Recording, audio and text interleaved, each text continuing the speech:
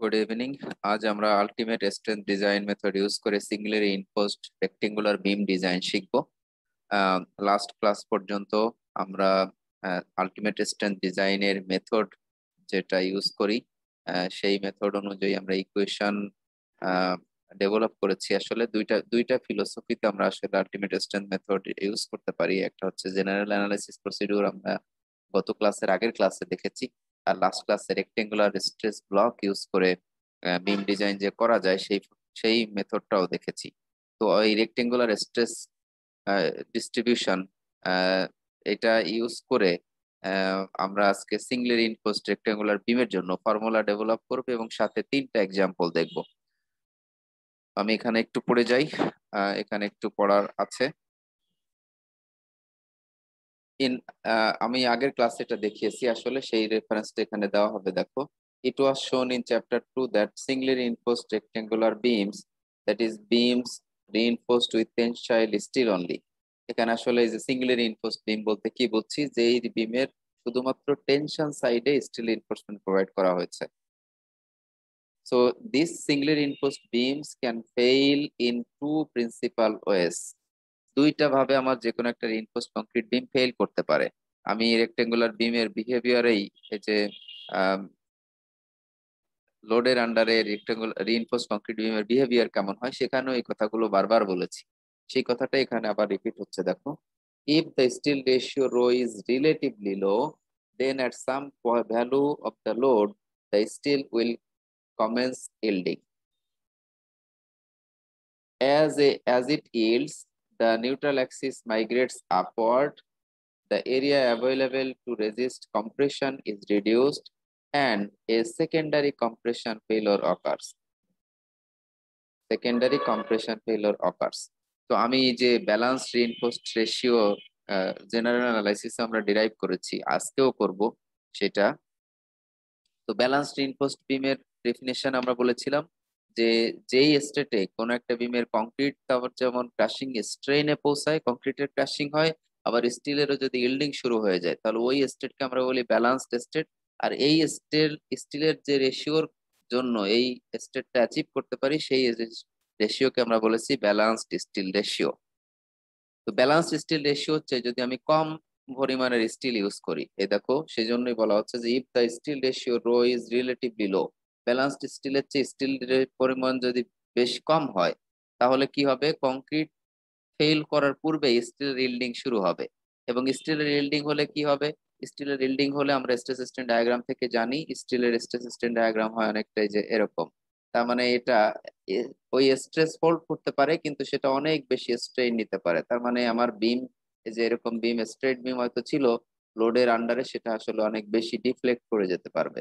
অনেক বেশি ডিফ্লেক্ট করে যাবে, তাহলে আমি এখানে যেরকম কংক্রিটে ক্রাক দেখব, অনেক স্যাক দেখব নিচ থেকে যে বিম ঝুলে যাচ্ছে সেটা আমরা বুঝতে পারব খালি চোখেই এবং ক্রাকের উইট তো আস্তে আস্তে বাড়তে থাকবে এবং এটা দেখে বুঝতে পারব যে আমার এই বিম আলটিমেটলি এই যে এটার যে আলটিমেট যে স্ট্রেন ক্যাপাসিটি আছে, সেই স্ট্রেনে গেলেই কিন্তু এই বিমের রেইনফোর্সমেন্ট ফ্র্যাকচার হবে এবং ফেল করবে। তো আসলে এই রিইনফোর্সমেন্টের ফ্র্যাকচার সাধারণত বিমে হবে না।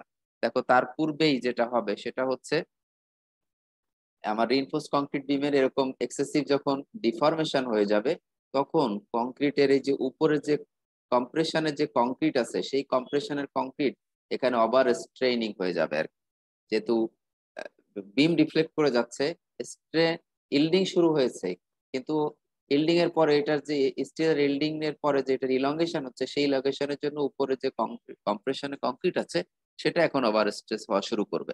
তো স্টিলের এই যে ফ্র্যাকচার মানে টিয়ারিং হয়ে যাওয়ার পূর্বেই তোমার কংক্রিটের যে কম্প্রেশনের কম্প্রেশনের যে কংক্রিট আছে, সেটা কিন্তু ক্রাশ করবে। আমি এটা এক্সপেরিমেন্ট করে আমার ছাত্রদেরকে আমি ল্যাবে দেখিয়েছি। একটা reinforced under reinforced beam design করে সেটাকে কাস্ট করেছি আমরা। কাস্ট করে ফ্লেক্সারাল স্ট্রেন্থ টেস্টিং মেশিনে টেস্ট করেও দেখিয়েছি যে শিয়ার ক্রাক কীভাবে ডেভেলপ করে ফ্লেক্সারাল কীভাবে ক্রাক কীভাবে ডেভেলপ করে এবং আলটিমেটলি এটা যে ফেল করে সেটাও দেখিয়েছি। তো সেই বিমের এই যে উপরের কংক্রিটের ক্রাশিং আন্ডার আন্ডার ইনপোস্ট বিমি তার মানে ইল্ডিং শুরু হয়েছে ফেইলর শুরু হয়েছে ইল্ডিং অফ স্টিলের মাধ্যমে, কিন্তু আলটিমেটলি যে ফেইলরটা হয়েছে কিন্তু কংক্রিটেই যেটাকে আমরা এই যে সেকেন্ডারি কম্প্রেশন ফেইলর বলি। প্রাইমারি কম্প্রেশন ফেইলর বলতাম, যদি স্টিলের ইল্ডিং হওয়ার পূর্বেই আমার কংক্রিটের ক্রাশিং হয়ে যেত। যেটাকে আমরা বলি ওভার রিনফোর্স বিম এবং এই ধরনের বিম আমরা ডিজাইন করতে চাই না, কারণ আমরা ফেইলরের পূর্বে ওয়ার্নিং পেতে চাই স্ট্রাকচারের কাছ থেকে। যেন আমরা আমাদের সব প্রপার্টি নিয়ে এটা থেকে সেফলি এক্সিট করে যেতে পারি। তো আমরা সেটাকে তখন বলতাম কিন্তু প্রাইমারি কম্প্রেশন ফেইলর কিন্তু এখানে দেখো আন্ডার ইনফোর্স বিম যদিও বা সেটার ইল্ডিং এর মাধ্যমেই কিন্তু ফেইলরটা শুরু হচ্ছে বাট আলটিমেটলি কিন্তু এটা ফেল করব এই সেকেন্ডারি কংক্রিটের কম্প্রেশনে যেটাকে আমরা সেকেন্ডারি কম্প্রেশন ফেইলর বলছি। আবারও ক্লিয়ার হতে হবে। তো এই কথাগুলো আমি কিন্তু যে রিনফোর্স কংক্রিট ক্লাসের শুরুতেই, এমনকি ওয়ার্কিং স্টেট ডিজাইনের শুরুতেই আগেও এই রিনফোর্স কংক্রিটের বিহেভিয়ার আন্ডার লোড কেমন হয় সেটাতে সেখানে এগুলো এক্সপ্লেন করেছি। তো এখানে আবারও বলাটা জরুরি ছিল। কারণ হচ্ছে আমরা এমন কোনো বিম ডিজাইন করতে চাই না যে বিমে যে প্রাইমারি কম্প্রেশন ফেলার হয়। মানে ওভার ওভার রিনফোর্স বিম আমরা ডিজাইন করতে চাই না। আমরা চাই আন্ডার রিনফোর্স বিম ডিজাইন করতে। কেন? সেই সেই কেনটার উত্তর দিতেই আমার এই যে এই কথাগুলো বলা দেখ এখানে ওরাও সেই কথাগুলোই বলতে চাচ্ছে যে, আমরা কেন আবার রিনফোর্স বিম ডিজাইন করব না আন্ডার রিনফোর্স বিম ডিজাইন করব? তো সেকেন্ডারি কম্প্রেশন ফেলোরের মাধ্যমে ফেলোর হবে। If on the other hand the steel ratio is high balanced স্টিলের হচ্ছে ব্যালান্সড স্টিল রেশিও হচ্ছে যদি স্টিল রেশিও বেশি হয়, তখন কি হবে? The concrete will reach its ultimate capacity before the steel ends while failure due to yielding is a gradual one with an, with adequate warning of collapse, failure due to crashing of concrete is sudden and without warning. So, আমরা warning সহই ফেইলরটা চাই। সেজন্য under reinforce বিমই চাইব। তার মানে reinforcement with beam with low reinforcement ratio আমি এইভাবে বলব। ব্যালান্সড স্টিলের চেয়ে স্টিলটা আমরা কম প্রোভাইড করব। কংক্রিট স্ট্রং থাকুক, কিন্তু আমি স্টিল এটাকে উইক করতে চাই। তো যারা এই যে অনেকে মনে করে যে বিম স্লাব এগুলোতে মনে হয় রিইনফোর্সমেন্ট বেশি দিলেই ভালো। তারা কিন্তু ঘরে ডেকে বিপদ আনতেছে আমি বলব। কারণ আমরা চাই যে, এক হচ্ছে যতটুকু রিইনফোর্সমেন্ট প্রয়োজন, তার চেয়ে বেশি রিইনফোর্সমেন্ট এখানে প্রোভাইড করা হচ্ছে। তোমরা দেখবে যে রিইনফোর্সমেন্ট প্রোভাইড করলে শুধু এটার খরচই বাড়ে না, বরং স্ট্রেংথও কিন্তু কমে যায়। আবার ফেইলর মোডটাও এই যে প্রাইমারি কম্প্রেশন ফেইলর হয়, যেটা আসলে সাডেন তার মানে হঠাৎ রাত্রে মনে করো শুয়ে আছো বিল্ডিং এর ভিতরে সকালে উঠে দেখো যে কবরে জিজ্ঞাসাবাদ করা হচ্ছে। ব্যাপারটা এরকম ঘটবে। কিন্তু স্টিলের ইল্ডিং এর মাধ্যমে যদি স্ট্রাকচার ফেল করে, তাহলে এই ধরনের সাডেন কলাপস হবে না আর তো যারা মনে করে যে বিমে রড দিলেই মনে হয় ভালো স্ল্যাবের রড বেশি দিলেই মনে হয় এটা বেশি স্ট্রং হচ্ছে, তা তাদের জন্য এখান থেকে স্পেশাল নোট নেওয়া উচিত। কিন্তু এইখানে আবার কলামের সাথে এটাকে মিক্স করা যাবে না। কলামে কিন্তু রিনফোর্সমেন্ট বেশি প্রোভাইড করলে সেটার অ্যাক্সিয়াল ক্যাপাসিটিও বেশি আসে এবং তার ফ্লেক্সারাল ক্যাপাসিটিও বেশি আসে, ঠিক আছে? কলামে কিন্তু এই ধরনের সমস্যা নেই। কলামে আলটিমেটলি যে ধরনের ফেইলরই চাও মানে যাই করো না কেন কম্প্রেশন ফেইলর হয়, ওটা অ্যাভয়েড করার সুযোগ কম। সো কলামের রিনফোর্সমেন্ট বেশি প্রোভাইড করলে কোনো ক্ষতি নেই। কিন্তু বিমে এবং স্লাবে যেগুলো ফ্লেক্সারাল মেম্বার এক কথায় ফ্লেক্সারাল মেম্বার যেগুলো, যেখানে বেন্ডিংটা মেইনলি গভর্ন করে সেইখানে ওভার রিনফোর্স করে ফেলাটা আসলে বড় ধরনের বিপদের কারণ এবং তাতে কিন্তু স্ট্রেংথও কমে। আবার স্টিল বেশি ইউজ করলে কিন্তু খরচও অনেক বেশি বাড়ে। সো কয়েক দিকে আসলে সমস্যা, বেশি স্টিল যারা ইউজ করে, বিশেষ করে মিস্ত্রিরা যখন কাজ করে, তারা এই ইঞ্জিনিয়ারের ডিজাইন দেখে বলে, স্যার, এখানে কম মনে হচ্ছে, আরও এখানে প্রোভাইড করে আমি নিজে কাজ করতে গিয়ে এরকম এক্সপিরিয়েন্স হয়েছে। এক্সপিরিয়েন্স আমার হয়েছে। তারা আসলে বিশ্বাসই করতে চায় না যে এত কম রিনফোর্সমেন্ট দিয়েও স্ট্রাকচার ডিজাইন করা যায়। বিম স্ল্যাব ডিজাইন করা যায়। তো এখানে একটু নোট নেওয়া প্রয়োজন এবং দেখো the first type of failure is therefore prefer preferred it can be ensured by setting an upper limit on the ratio of the tensile reinforcement. তাহলে আমি বিম ডিজাইনের সময় কীভাবে under reinforced beam design ensure করব? আমি কীভাবে এটাকে এই যে সেকেন্ডারি কম্প্রেশন ফেইলর টাইপের ফেইলরে নিয়ে আসব? মানে স্টিলের ইল্ডিং এর মাধ্যমেই এটা যে ফেইলর হোক, আমি সেটা অবশ্যই চাই এবং ডিজাইনে এটা ইমপ্লিমেন্ট করতে চাইলে কি করতে হবে? জাস্ট ব্যালান্স স্টিলের চেয়ে কম পরিমাণের স্টিল আমাকে ব্যবহার করতে হবে। তাহলে আমি ডিজাইনের সময় লিমিট করে দেবো যে, দেখো স্টিল কোন একটা বিম ডিজাইনে স্টিলের পরিমাণ এই সার্টেন অ্যামাউন্টের চেয়ে বেশি হতে পারবে না। তো আমরা ব্যালান্স স্টিল দিলে তো জাস্ট ইকুয়াল হবে। কিন্তু অ্যাকচুয়াল ডিজাইনে ব্যালান্স স্টিলের চেয়েও কম রাখা হয় এবং দেখো সেটা রাখা হয় সেভেন্টি ফাইভ পার্সেন্ট আমাদের সামনে কোথাও চলে আসবে সেটা। It was shown in the preceding chapter that the balanced steel ratio such that the steel starts to yield and the concrete reaches its ultimate strain capacity at precisely the same load is given by that means is a balanced steel ratio আমরা এটা কিন্তু general analysis ultimate strength design মেথডের ওই ক্লাসে এটা develop করে আসছিলাম আমি একটু ব্যাকওয়ার্ডে গিয়ে যদি দেখাতে চাই অনেকের বিশ্বাস হতে কষ্ট হতে পারে আমি একটু ব্যাকওয়ার্ডে গিয়ে তোমাদের দেখাচ্ছি যে আমরা এই লাস্ট ক্লাসের আগের ক্লাস এটাতে যে করেছি, এখানে দেখো এই যে এটা কিন্তু আমরা ওই ক্লাসে ডেভেলপ করেছিলাম। এখানে রো বি এর ভ্যালুটাই যে বলা আছে ডেভেলপ করা আছে। Alpha times point zero zero three divided by f y over E s plus point zero zero three times f prime c over f y তো এইটাই আবার এখানে আমরা লিখতেছি। সেইটা, সেইটাই এখন দেখো ইকুইভ্যালেন্ট রেক্টেঙ্গুলার স্ট্রেস ব্লকে আমরা যে অ্যাজামশনগুলো করেছি, সেইগুলো ইনসার্ট করে আমি এই সিম্পলিফাইড ফর্মে নিয়ে আসব। তো এটা হচ্ছে আমার জেনারেল অ্যানালাইসিস থেকে আমরা ব্যালান্সড স্টিল রেশিও যে রো বি সেটা পেয়েছিলাম। তো এখানে এই যে ফোর থাউজেন্ড পিএসআই কংক্রিটের জন্য আলফা এর ভ্যালু হচ্ছে point eight five four thousand PSI বা তার কম স্ট্রেংথের কংক্রিটের জন্য আলফা এর ভ্যালু হচ্ছে পয়েন্ট এইট ফাইভ আর এই যে দেখো বেটা ওয়ানের ভ্যালু ছিল হচ্ছে বেটা ওয়ান বা কে ওয়ানের ভ্যালু ছিল হচ্ছে পয়েন্ট এইট ফাইভ। এই এইট ফাইভটা হচ্ছে আমার এই যে সি এর যে part A equal to point eight five যে সি এই ওইখানে আসলে আমাদের আলফাটা গত ক্লাসে আমরা দেখেছি। এক কথা এখানে আমি এখন আর ডিটেলসে যাব না। Alpha equal to point eight five beta one অথবা কে ওয়ান যাই বলো না কেন, সেটা আমাদের ছিল। তো এই আলফা এর ভ্যালুটা আমি যদি এখানে এখন ইনসার্ট করি, এবং ই এর value modulus of steel elasticity of steel হচ্ছে twenty nine thousand two point nine million PSI এক কথা এভাবে বলতে পারি আমরা। সো সেইটা হচ্ছে, বাংলায় বললে হবে হচ্ছে কত? দুই কোটি নব্বই লক্ষ এরকম। তার মানে টু পয়েন্ট নাইন মিলিয়ন আমরা বলব। নাকি ভুল বলতেছি? Twenty nine million twenty nine million two point nine million না টোয়েন্টি নাইন মিলিয়ন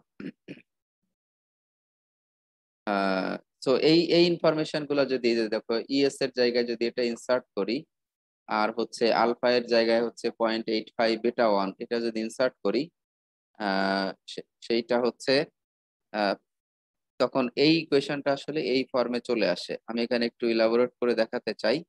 দেখো এখানেই আমরা ইনসার্ট করি।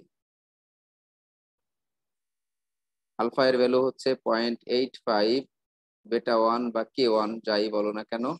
টাইমস হচ্ছে যে পয়েন্ট জিরো জিরো থ্রি তো ছিলই উপরে। নিচে আসলো f y over twenty nine এর পরে ছয়টা জিরো আর তিন আর তিন, ছয়টা জিরো প্লাস হচ্ছে পয়েন্ট তিনটা point zero zero three times হচ্ছে f prime c over f y তো এখন এই যে টোয়েন্টি নাইন থাউজেন্ড দিয়ে আমি যদি এটাকে সিম্পলিফাই করি twenty nine thousand sorry to twenty nine million times point zero zero three দেখো কত আসে? Twenty nine times ten power six times হচ্ছে point zero zero three exactly eighty seven thousand আসে। তো এটাকে সিম্পলিফাই করলে যে দেখো twenty nine thousand sorry eighty seven thousand এটা জাস্ট সিম্পলিফাই করে এই যে এই পার্টটুকুকে আমি তাহলে লিখতে পারি হচ্ছে এই যে এইটা। এই পার্টটুকু সিম্পলিফাই করার পরে এরকম চলে আসে। প্রোভাইডেড দ্যাট এফ ওয়াইটা হতে হবে পিএসআই তে। এই এফ ওয়াইটা হতে হবে অবশ্যই পিএসআই তে। আর এইটাই দেখো, আমি এরকমও লিখতে পারি eighty seven divided by just এক হাজার দিয়ে যদি উপরে নিচে দুইটাকে ভাগ করে দেই, তাহলে eighty seven divided by eighty seven plus f y হবে তো এফ ওয়াই পিএসআই তে যে ছিল, সেটা এখন এক হাজার দিয়ে ভাগ করলে কি কেএসআই তে চলে আসবে। তার মানে আমার এই যে যে এই এই ফর্মুলা যেটা লিখতেছি, সেখানে এই এফ ওয়াই হতে হবে কেএসআই তে। ঠিক আছে? যদি কেএসআই হয় তাহলে আমরা eighty seven over eighty seven plus f y লিখতে পারি। আর যদি পিএসআই তে হয় তাহলে এই বাম পাশের ফর্মে লিখতে হবে। F prime c over f y এটাই যেখানে থাকল আর হচ্ছে point eight five beta one বা কে ওয়ান সেটা এখানে থেকে গেল। আর বেটা ওয়ানের ভ্যালু আমরা জানি গত ক্লাসেও দেখেছি যে বেটা ওয়ানের ভ্যালু হচ্ছে ফোর থাউজেন্ড পিএসআই এবং তার চেয়ে কম স্ট্রেংথের কংক্রিটের জন্য বেটা ওয়ানের ভ্যালু হচ্ছে point eight five four thousand PSI আর বেটা ওয়ানের ভ্যালু এই পয়েন্ট জিরো ফাইভ করে কমতে থাকে এইট ফাইভ থেকে কমতে থাকবে পয়েন্ট জিরো ফাইভ করে for every thousand f prime c minus four thousand divided by one thousand এরকম, এখানে এফ প্রাইম সিটা পিএসআই তে বসাতে হবে।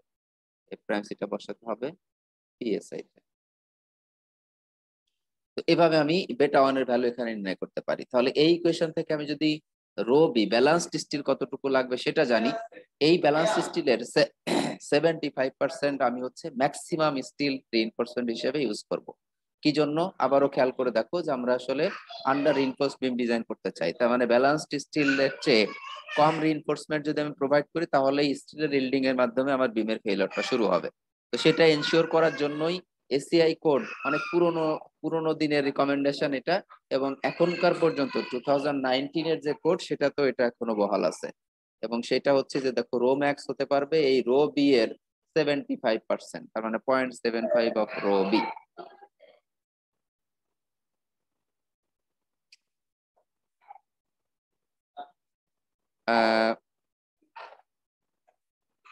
so আমরা এই ম্যাক্সিমাম রিইনফোর্সমেন্ট রেশিওটা ইউজ করে আমার বিম ডিজাইন করব।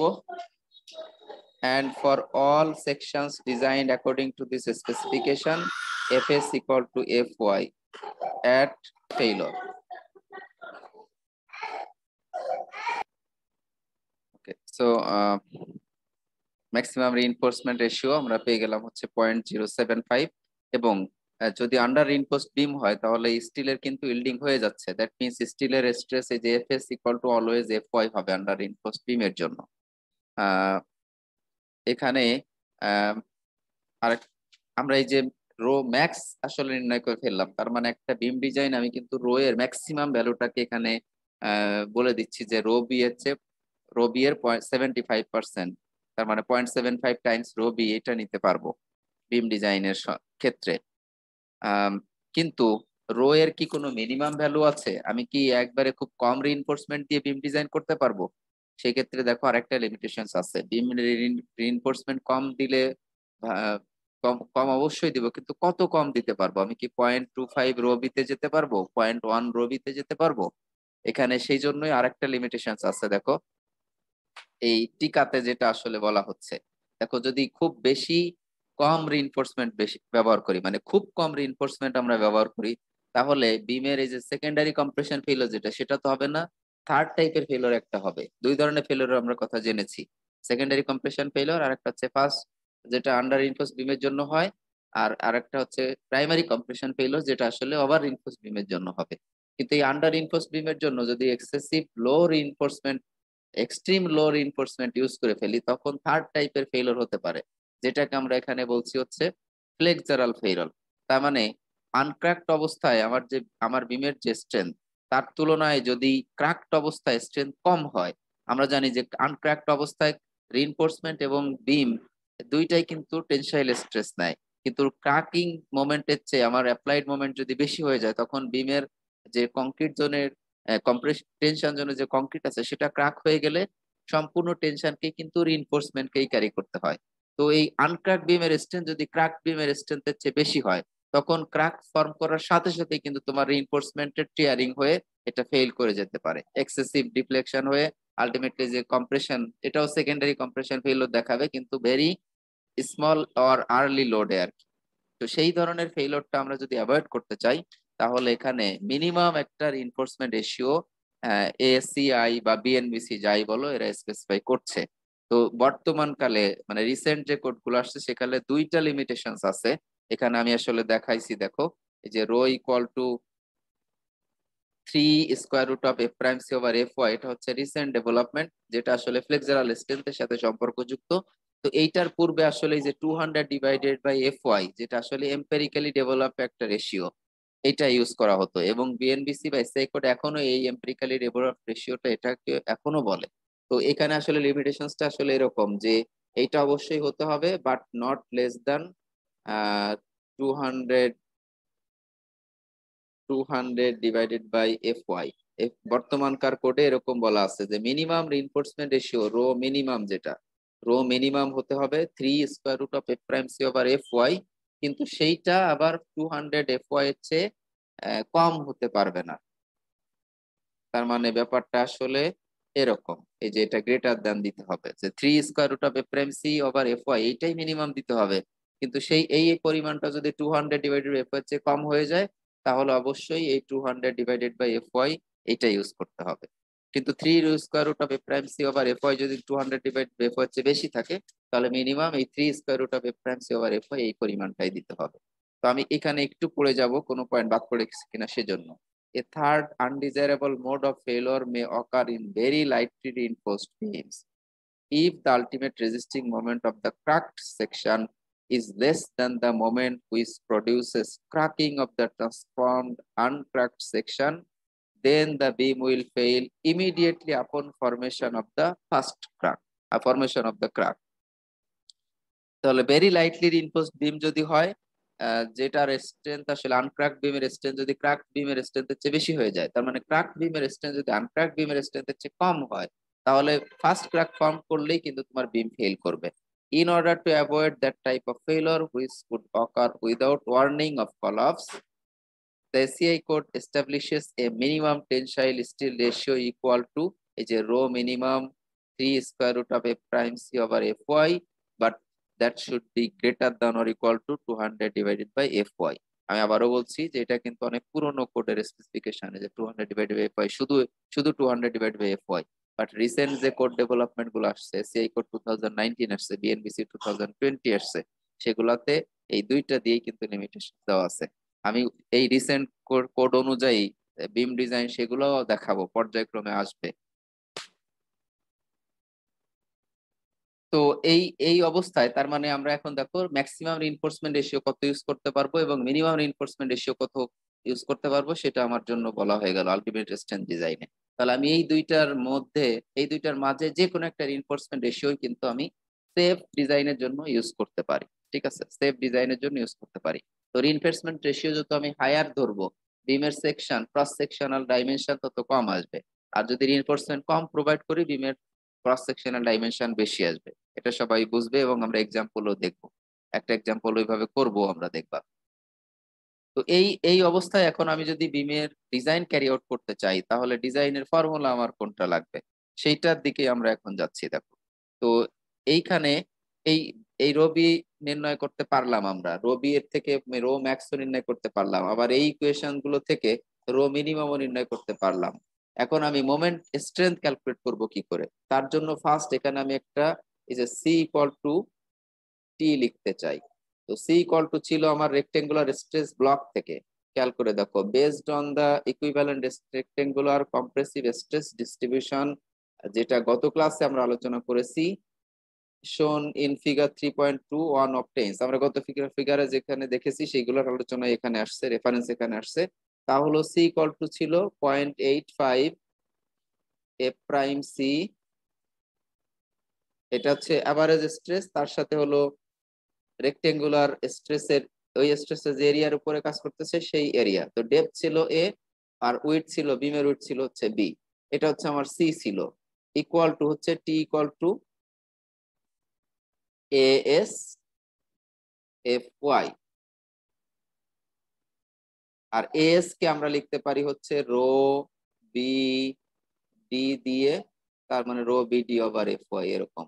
তাহলে আলটিমেটলি এখান থেকে এ ইকুয়াল টু কি লেখা যায় দেখো? এ ইকুয়াল টু হচ্ছে, তাহলে A S F Y divided by point eight five F prime C B অথবা আমরা যদি রো বিডি দিয়ে লিখি, তাহলে rho B D F Y over point eight five F prime C B তো এই বি বি যদি ক্যান্সেল হয়ে যায়, তাহলে থাকে হচ্ছে rho D F Y divided by 0.85 A prime C এইটা। তো সেই দুইটা ইকুয়েশন এখানে আসলে দেখানো হয়েছে দেখো। এটা হচ্ছে এখানে দেখানো হয়েছে আর এটা হচ্ছে যেখানে দেখানো হয়েছে। A equal to S F Y divided by point eight five F prime C B equal to rho F Y D over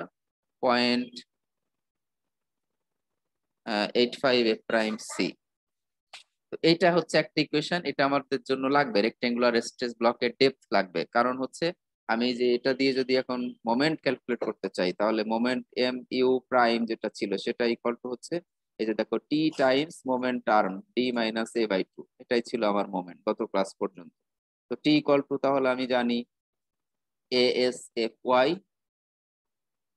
আর হচ্ছে D minus A by two তাহলে আমার দেখো মোমেন্ট ক্যালকুলেশনের জন্য এই এ এর ভ্যালু রেক্টেঙ্গুলার স্ট্রেস ব্লকের depth এটা আমার কিন্তু লাগছে। তো এখানে তাহলে এই ইকুয়েশন ইউজ করেই কিন্তু আমি মোমেন্ট নির্ণয় করতে পারব। এখন এই ইকুয়েশনটাতেই এই ইকুয়েশনটাতে এ এর ভ্যালু যদি আমি এই যে rho F Y D over point eight five F prime সেটা বসাই, তাহলে কি পাবো দেখো? এস ইকুয়াল টু লেখা যায় rho B D F Y F Y থাকল এখানে আরও লেখা যায় D minus A equal to লেখা যায়, দেখো rho F Y D over point eight five F prime C আর এই যে এর নিচে টু ছিল, সেই টু ও কিন্তু ওখানে এসে এসে এই যে গুণ হয়ে যাবে। তাহলে আমি এখান থেকে এখন রো ওয়াই বি আর দেখো, এখানে একটা ডি আছে, আর এই ডান পাশের এটা থেকে ডি যদি কমন নিয়ে নেই, তাহলে ডি স্কোয়ার্ড হয়ে যায়। তাহলে থাকে হচ্ছে ওয়ান মাইনাস এই যে দেখো, এখানে পয়েন্ট ফাইভ নাইন হয়ে যাবে। One divided by one divided by point eight five divided by two করো, দেখো পয়েন্ট ফাইভ নাইন আসে। আমি ক্যালকুলেটারে নিজেই করে দেখি। One divided by point eight five divided by two point five eight eight something এরকম আসে। আমরা রাউন্ড আপ করে পয়েন্ট ফাইভ নাইন এখানে থাকে, তাহলে দেখো F Y divided by F prime C তো এইটা, এই যে এইটা হচ্ছে আমার ডিজাইন ইকুয়েশন আইদার এটা আমি ইউজ করতে পারি যে A S F Y times D minus A by two অথবা এইটাও আমি ইউজ করতে পারি, এই যে M U prime equal to rho F Y BD square point five nine F Y over F prime C খেয়াল করো, এটা কিন্তু আন্ডার ইনপোস্ট বিম তার মানে সেই জন্যই কিন্তু আমি এখানে টেনশন স্টিলের যে টেনশন আন্ডার ইনফোর্স বিম তার মানে স্টিলের টেনশনের রিল্ডিং এর মাধ্যমে এটা ফেইলর শুরু হবে। তাহলে স্টিলের যেটা দিয়ে ফেইলর শুরু, সেটা দিয়ে কিন্তু স্ট্রেন্থ ক্যালকুলেট করতেছি। এবং সেটাকেই একটা রিভাইজড ফর্মে আমরা এরকমও লিখতে পারি। দুইটাই কিন্তু স্টিলের স্ট্রেন্থ দিয়েই। যদিও বা এখানে কংক্রিটের প্রপার্টিও আছে, দেখো। বাট দুইটাই আলটিমেটলি কিন্তু স্টিলের প্রপার্টি দিয়ে আসছে। কেয়ারফুলি এখানে থাকতে হবে। আর যদি ওভার রিনফোর্স বিম হয়ে যায়, তাহলে ওভার রিনফোর্স বিমের জন্য আমি বলেছি যে কংক্রিটের স্ট্রেন্থ দিয়ে কিন্তু আমি তার মোমেন্ট স্ট্রেন্থ ক্যালকুলেট করব। তো সাধারণত আমরা এই, আমি বলেছি যে আমরা বিম ডিজাইনে over reinforce concrete beam design করতে চাই না। এবং সেটা যদি হয়েও যায়, কীভাবে করব সেটা আমি পরবর্তী কোনো ক্লাসে দেখাবো। সামনের ক্লাসগুলোতে আসবে ফলো করতে থাকো আসবে তো এখানে দেখো আলটিমেটলি আমি যা ডেভেলপ করেছি, ওরা সেইভাবেই লিখলো যে, এবং M equal M equal to S F Y D minus A by two এটা লাস্ট ক্লাসে আমরা দেখেছি। এবং সেখানেই এ এর ভ্যালুটা যদি ওই যে point rho F Y D divided by point eight five F prime C এটা ইনসার্ট করি আলটিমেটলি আমার মোমেন্ট স্ট্রেংথ আসে হচ্ছে M U prime ultimate moment strength rho F Y B D square times one minus point five nine rho F Y আবার F prime C আমি এখানে ভুল করেছি, এখানে রোটা লিখতে ভুল করেছি। এই যে এখানে একটা রো হবে পয়েন্ট ফাইভ নাইন রো এই যে রোটা আছে এই রোটা লিখতে ভুল করেছি। তো এই হচ্ছে আমার মোমেন্ট নির্ণয়ের জন্য ফর্মুলা এই দুইটা ফর্মুলা বেসিক্যালি একটাই, আসলে কিন্তু দুই ফর্মেই লেখা যায়। এই দুইটা ফর্ম ইউজ করেই আমরা মোমেন্ট স্ট্রেন্থ নির্ণয় করতে পারব। কিন্তু আলটিমেট স্ট্রেন্থ ডিজাইন ফিলোসফিতে দেখো, কিছু সেফটি প্রভিশন আছে। Safety provision for ultimate strength design এইখানে সেই কথাগুলো আছে। আমরা আলটিমেট স্ট্রেন্থ ডিজাইনে কীভাবে সেফটি নিয়ে আসি লোড গুলাকে আসলে ফ্যাক্টর দ্বারা গুণ করে বাড়িয়ে নেই। যেমন আমার ডেড লোড হচ্ছে যা for example forty PSF dead load আমি স্লাবের থিকনেস থেকে ক্যালকুলেট করলাম বা বিমের উপরে যে ডেড লোড আসতেছে এক কথায়, সেটা যদি one hundred one point five kip per feet হয় ফর এক্সাম্পল অথবা distribute concentrated load fifty kip কোনো একটা পয়েন্টে আসছে বিমের উপরে। ডেড লোড যেটা, সেটাকে আসলে একটা ফ্যাক্টর দিয়ে গুণ করে বাড়িয়ে নেই। ফ্যাক্টর লোড বলি আমরা। তো দেখো অনেক পুরনো কোডে এটা আসলে ওয়ান পয়েন্ট ফাইভ ইউজ করা হতো যে, সে নাইনটিন সেভেন্টি নাইনটিন ফিফটির দিকে। এরপরে নাইনটিন নাইনটির দিকে এসে বা টু থাউজেন্ডের শুরুর দিকে সেটা হয়ে যায় যে one point four D one point five থেকে কমে ওয়ান পয়েন্ট ফোর ডিতে আসে। আর এখন রিসেন্ট কোড যেটা আছে, সেটাতে এসে যে ডেড লোডের জন্য ফ্যাক্টর হচ্ছে one point two only one point ফোরও আছে শুধুমাত্র ডেড লোডের জন্য। এই লোড কম্বিনেশন তোমরা অন্য কোনো ক্লাসে শিখবে, আশা করি। স্ট্রাকচার অ্যানালাইসিস ক্লাস আমি দেখিয়েছি। বাট আমার এই, আমাদের এই রিইনফোর্স কংক্রিট ডিজাইনে মোস্টলি আমরা ইউজ করব হচ্ছে এই কম্বিনেশনটাই অনেকগুলো লোড কম্বিনেশন আসে। তার মধ্যে এই কম্বিনেশনটাই বেশি আসবে, যেখানে ডেড লোড এবং লাইভ লোড থাকবে। তো এই বইটা যেহেতু আমরা ফলো করছি, বইয়ের সাথে আমরা যাব। এই যে one point five times dead load plus one point eight times live load তাহলে লাইভ লোডের জন্য এইখানে ফ্যাক্টর ইউজ করা হয়েছে ওয়ান পয়েন্ট এইট যেটা পরবর্তীতে ওয়ান পয়েন্ট সেভেন হয়। এখন দেখো, এসে ঠেকেছে এটা। ওয়ান পয়েন্ট সিক্সে মানে আমাদের এই ডেড লোড লাইভ লোডের আন্ডারস্ট্যান্ডিংটা এখন অনেক বেশি বেড়ে গেছে, যে কারণে এই ফ্যাক্টরগুলো কমে আসছে। আবার ওদিকে কংক্রিটের স্ট্রেংথ আমরা এখন মোর অ্যাকুরেটলি ক্যালকুলেট করতে পারি। সেখানে আবার ওই, এই সব কিছু চিন্তা করে আসলে load dead load live load ফ্যাক্টরগুলা ACI code তারপরে এএসসি এরা আসলে মানে চেঞ্জ করে আর তো আমরা এইটাই ইউজ করব। তো এই যে দেখো সেফ সেফটি প্রভিশনের জন্য সেফ সাইডে থাকার জন্য, আমার স্ট্রাকচার যেন কোনোভাবে ফেল না করে সেই জন্য আমরা অ্যান্টিসিপেটেড যে লোড সেই লোডটাকে আসলে একটু বাড়িয়ে নেই, যে এটার চেয়ে বেশি লোড হতেও পারে। বা লাইফ টাইমে যেন এরকম লোড না আসে, এটা যাতে ফেল না করে সেই জন্য ম্যাক্সিমাম প্রবাবল লোড যেটা, সেটা কনসিডার করার জন্যই আমরা এই যে এরকম ফ্যাক্টরাইজ করে নেই। তো দেখো ডেড লোডের ভেরিয়েশনটা কম হয়, আমরা মোর অ্যাকুরেটলি ক্যালকুলেট করতে পারি সেই জন্য তার ফ্যাক্টরের ভ্যালু কম। লাইভ লোডের তুলনায়, কারণ লাইভ লোড হচ্ছে মোস্ট আনসার্টেইন এবং এটার ম্যাগনিটিউড হাইলি ডিফারেন্ট ভ্যারিয়েবল তো এইখানে যেমন আমরা লোড ফ্যাক্টর ইউজ করে লোড বাড়িয়ে নেই, এখানে দেখো যে ডেড লোড উইন লোড আসছে, এখানে আর্থকুইক লোড আসতে পারে রেইন লোড আসতে পারে স্নোফল হলে স্নো লোড আসতে পারে যত ধরনের লোড আসা সম্ভব সবগুলো নিয়েই কম্বিনেশন করে নিতে হবে। বাট আমাদের এই আপাতত যে এক্সাম্পল হলো আমরা করব, সেখানে শুধু ডেড লোড এবং লাইভ লোড আসবে। ডেড লোডের জন্য ফ্যাক্টর হচ্ছে ওয়ান পয়েন্ট ফাইভ লাইভ লোডের জন্য ফ্যাক্টর হচ্ছে ওয়ান পয়েন্ট এইট তো এই যে লোডের ভ্যালুকে যেমন আমি ইনক্রিজ করে নেই আলটিমেট স্ট্রেন্থ ডিজাইন মেথডে তেমনি বিমের যে স্ট্রেংথ আছে যে সেকশন প্রপার্টি থেকে আমরা যে স্ট্রেংথ ক্যালকুলেট করি, সেইটার স্ট্রেংথ আমি আসলে ফ্যাক্টর ইউজ করে কমিয়ে নেই যেগুলোকে আমরা স্ট্রেংথ রিডাকশন ফ্যাক্টর বলি। তো এই স্ট্রেংথ রিডাকশন ফ্যাক্টর দেখো, বিভিন্ন মোড অফ ফেইলরের জন্য বিভিন্ন রকম। যদি ফ্লেক্সার হয় বিম তার মানে বিমের জন্য আমরা বলব এই যে স্ট্রেংথ রিডাকশন ফ্যাক্টর আমরা ইউজ করব। বিমের যে মোমেন্ট স্ট্রেংথ আমরা এমইউ প্রাইম ক্যালকুলেট করলাম যে ইকুয়েশন দিয়ে, সেটাকে আসলে ফি দ্বারা গুণ করে কমিয়ে নিব। এবং এই ফি এর ভ্যালু হতে হবে একের চেয়ে কম। তো ফ্লেক্সারের জন্য, তার মানে বেন্ডিং এর জন্য যে মেম্বার যেমন বিম স্লাব সেগুলোর জন্য আমরা ইউজ করি হচ্ছে point zero nine point nine আর কি স্ট্রেন্থ রিডাকশন ফ্যাক্টর তো রিসেন্ট কোডে এগুলো আবার ডিফারেন্ট হয়ে থাকে। ফুল ফ্লেক্সারের জন্য পয়েন্ট নাইন কিন্তু এই ফ্লেক্সারেরও আবার কয়েকটা ভাগ আছে, দেখবা রিসেন্ট ডেভেলপমেন্ট গুলোতে। সো সেখানে একটু ডিফারেন্ট হবে। কিন্তু আপাতত জাস্ট এতটুকু মনে রাখলেই হবে যে বিমের জন্য এই স্ট্রেংথ রিডাকশন ফ্যাক্টর ফি এর ভ্যালু হচ্ছে পয়েন্ট নাইন তাহলে ডেড লোডের জন্য স্ট্রেংথ লোড ফ্যাক্টর আমরা বলি। লোড কে বাড়ানোর জন্য যে ফ্যাক্টর ইউজ করি, তাকে বলি লোড ফ্যাক্টর তো ডেড লোডের জন্য লোড ফ্যাক্টর হচ্ছে ওয়ান পয়েন্ট ফাইভ লাইভ লোডের জন্য লোড ফ্যাক্টর হচ্ছে ওয়ান পয়েন্ট এইট আর বিমের জন্য strength reduction factor for flexure এটা হচ্ছে ফি আবার দেখো শেয়ারের জন্য কিন্তু সেগুলো আবার ডিফারেন্ট ঠিক আছে? কলামের জন্য আরেক রকম। এই যে কলামের জন্য, এগুলাও বিভিন্ন ডিফারেন্ট জিনিস আছে বাট আমরা শুধুমাত্র বিমের যেটা, সেটা আপাতত এখানে মনে রাখলেই হবে। তো তাহলে আমি স্ট্রেংথ যেটা ক্যালকুলেট করলাম, সেটাকে শুধুমাত্র এখন দেখো আলটিমেট স্ট্রেংথ আলটিমেট মোমেন্ট যদি চাই, এই যে ultimate moment M U M U prime না আলটিমেট স্ট্রেংথ ফর ডিজাইন এটা হবে আমার জাস্ট এই যে মোমেন্ট স্ট্রেংথ যেটা ক্যালকুলেট করলাম, তার সাথে ফি দ্বারা গুণ করে, যেখানে phi is equal to point nine এটাতেও তাই phi is equal to point nine ঠিক আছে? তো এই দুইটাই হচ্ছে আমার ডিজাইন ইকুয়েশন বাট এর সাথে আমার কিন্তু যে ব্যালান্সড স্টিল মানে সেটা রো ম্যাক্সিমাম মিনিমাম রো এর ভ্যালু সেটা যেমন লাগবে, আবার এ এর ভ্যালু ক্যালকুলেট করার যে ফর্মুলা সেটাও কিন্তু লাগবে। দেখব আমরা বিম ডিজাইন এক্সাম্পলে যখন যাব। তো থিওরি আলোচনা এতটুকুই।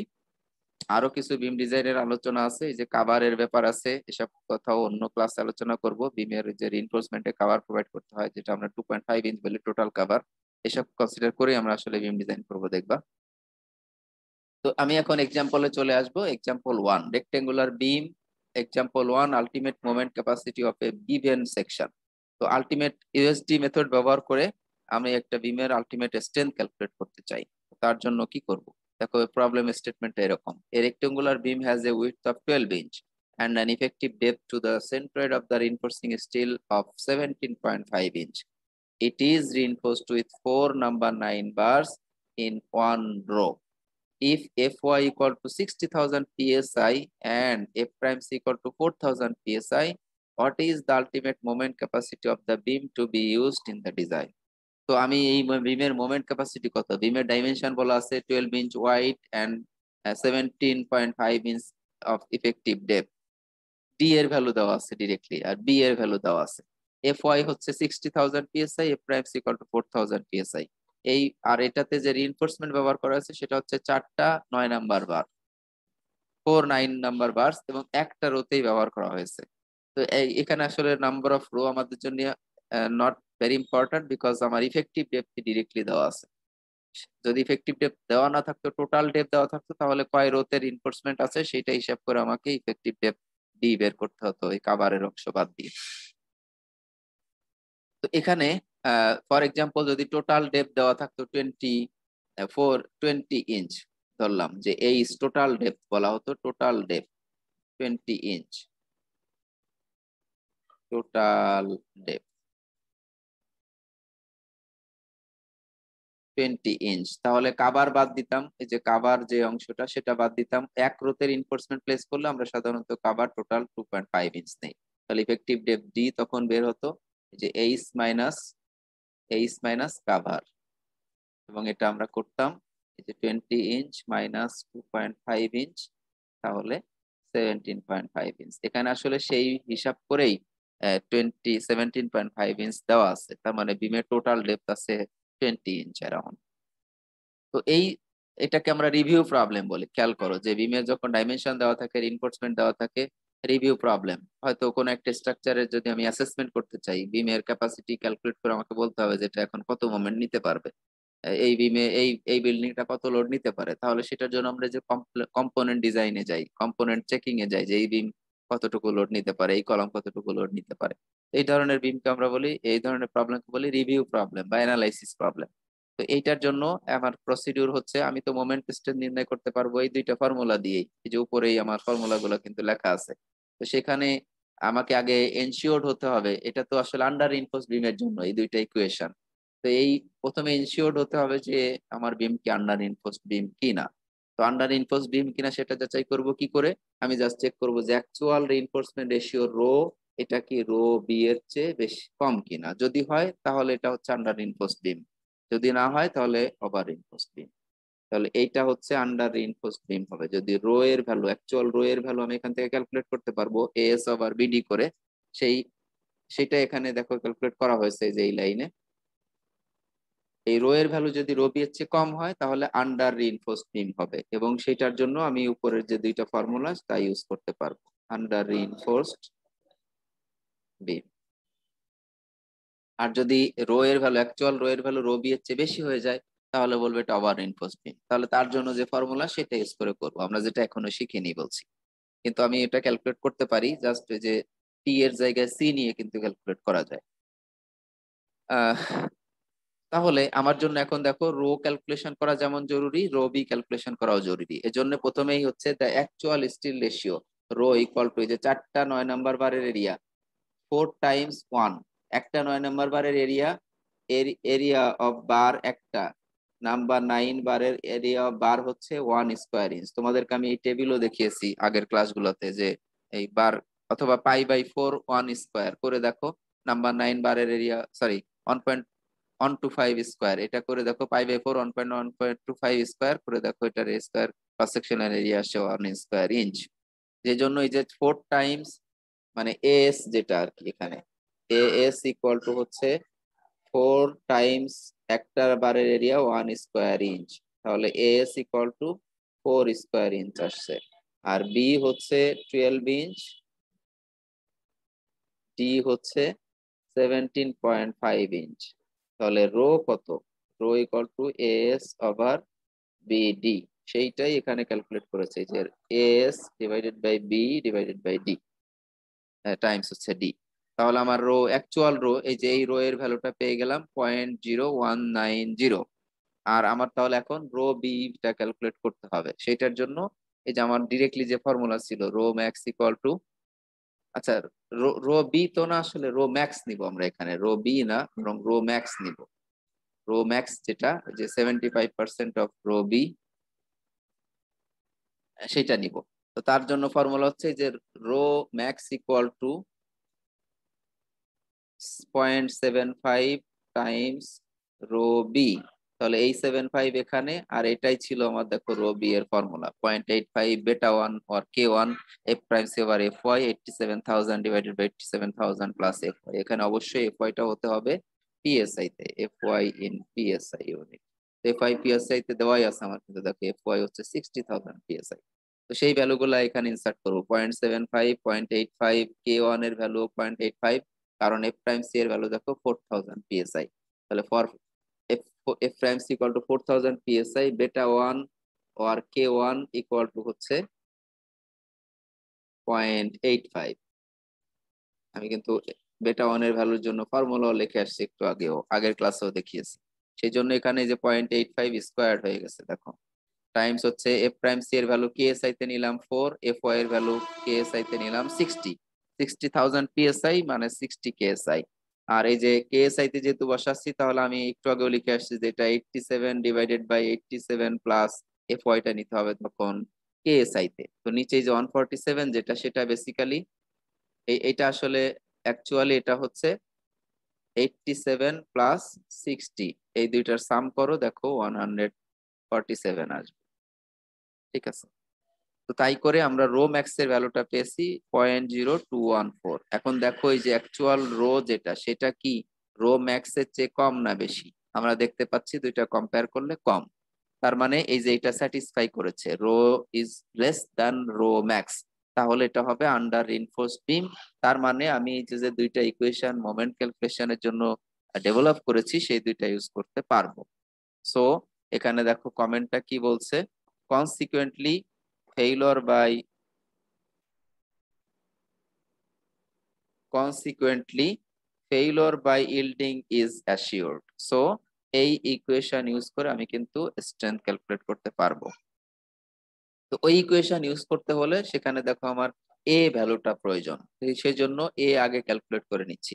S equal to S F Y over point eight five F prime C B অথবা rho F Y D divided by point eight five F prime C যে যে ফর্মুলা ইউজ করো না কেন, তুমি এ ভ্যালু নির্ণয় করতে পারবে। এখানে এস হচ্ছে four square inch F Y হচ্ছে সিক্সটি থাউজেন্ড সিক্সটি কেএসআই তাহলে এফ ওয়াই যদি সিক্সটি কেএসআই তে নেই, নিশ্চয়ই এফ প্রাইম সিটাও কেএসআই তে নিতে হবে। যে জন্য ফোর থাউজেন্ড কে যে দেখো ফোর লিখেছি কিন্তু। আর বি হচ্ছে টুয়েলভ ইঞ্চ তাহলে এসটাও নিশ্চয়ই স্কোয়ার ইঞ্চে থাকবে, যদি বিটা ইঞ্চে নেই। ইউনিট কম্প্যাটিবিলিটি বজায় রাখতে হবে। তো আমি এ এর ভ্যালুটা পেয়ে গেলাম five point eight nine inch তাহলে এখন এই ফর্মুলা ইউজ করে আমি মোমেন্ট ক্যালকুলেট করতে পারব। এবং সেটার ভ্যালু আসে যে দেখো ফি হচ্ছে বিমের জন্য পয়েন্ট নাইন টাইমস এস হচ্ছে four square inch F Y হচ্ছে সিক্সটি কেএসআই ডি হচ্ছে seventeen point five inch minus A point five point eight nine divided by two এই ফর্মুলা দিয়ে ক্যালকুলেট করে আমরা মোমেন্ট স্ট্রেংথ পেয়ে গেলাম। আলটিমেট মোমেন্ট স্ট্রেংথ যেটা সেটা হচ্ছে three one four zero inch kips তো এটাকে তুমি যদি আরও টুয়েলভ দ্বারা ভাগ করো, তাহলে কি ফিটে চলে যাবে? ফিট কিপে চলে যাবে। এভাবে তাহলে আমরা একটা গিভেন সেকশনের জন্য মোমেন্ট স্ট্রেংথ নির্ণয় করতে পারি আলটিমেট স্ট্রেংথ ফর্মুলা ইউজ করে। এখন একটা এক্সাম্পলে আসি ডিজাইন প্রবলেমে এটা হচ্ছে design example rectangular beam design করব। Proportioning a section to resist a given moment proportioning a section to resist a given moment তার মানে একটা বিম একটা বিমকে ডিজাইন করতে হবে এক কথায়। এটার ক্রস সেকশনাল ডাইমেনশন যেমন নির্ণয় করতে হবে, তেমনি নাম্বার অফ রিইনফোর্সমেন্ট তার মানে কত সাইজের কয়টা বার ব্যবহার করব সেটাও আমাকে বলতে হবে। আমরা আবারও বলছি যে এটা হচ্ছে সিঙ্গলি রিইনফোর্স বিম কিন্তু আলোচনায় আসি এখন আমরা শুধুমাত্র টেনশন জোনে স্টিল রিইনফোর্সমেন্ট প্রোভাইড করব। এটার স্টেটমেন্ট আমরা পড়ে নেই। Determine the cross section of concrete and area of steel required for a simply supported rectangular beam with a span of 15 feet which is to carry a computed dead load of 1.18 kips per feet and a working live load of 2.3 kips per feet তাহলে dead load এবং live load দুইটা দেওয়া আছে এবং বিমের span কত সেটাও বলা আছে তারপরে বিমের সাপোর্ট কি ধরনের সেটাও বলা আছে দেখো খেয়াল করে simply supported beam span length হচ্ছে ফিফটিন ফিট ডেড লোড দেওয়া আছে one point one eight kip per feet live load দেওয়া আছে two point three kips per feet এবং দেখো ম্যাটেরিয়াল স্ট্রেংথ তো আসলে দেওয়া আছে। ডিজাইনার হিসেবে কিন্তু তোমাকে এই যে লোডগুলা ক্যালকুলেট করে নিতে হবে। কোড অনুযায়ী এবং স্ট্রাকচারের যে ওয়েট সেই অনুযায়ী এর উপরে আমার লেকচার আছে, দেখে নিতে পারো। অ্যানালাইসিস করে তার মোমেন্ট বের করতে হবে। সিম্পলি সাপোর্টেড বিমের জন্য ডিস্ট্রিবিউটেড লোড যেহেতু দেওয়া আছে, তাহলে মোমেন্ট হবে W L square by eight তাহলে অ্যানালাইসিস করে মোমেন্টও বের করতে হবে এবং যে কত স্ট্রেংথের কংক্রিট ব্যবহার করবে এবং কত স্ট্রেংথের স্টিল ব্যবহার করবে সেটাও ইঞ্জিনিয়ার হিসেবে তোমাকে ডিসাইড করতে হবে। তো এখানে দেওয়া আছে যে a thirty thousand PSI three thousand PSI concrete is to be used and the specified yield stress steel yield stress is 40000 psi এটা ইউজ করে এখন কি করতে হবে? Determine the cross section of the concrete and area of steel required এটা তোমাকে বের করে বলতে হবে। তো তার জন্য আমাদের তাহলে method of mode of attack কি হবে? অ্যাপ্রোচ করব কীভাবে এই প্রবলেমের সলিউশনকে তো শুরুতেই আমি অ্যানালাইসিস করে আসলে কত মোমেন্ট ক্যারি করতে হবে সেটা বের করব। তো এই ডিজাইন প্রবলেমের জন্য আমরা প্রথমে অ্যানালাইসিস করে মোমেন্ট বের করতে চাই, তাহলে ফ্যাক্ট ওয়ার্কিং লোডকে ফ্যাক্টরাইজ করে আলটিমেট লোডে নিয়ে যাব। দেখো ultimate distributed load W L equal to হচ্ছে one point five dead load plus one point eight live load আমি এখানে যদি লিখতে চাই যে W U ultimate load equal to হচ্ছে one point five dead load plus 1.8 live load L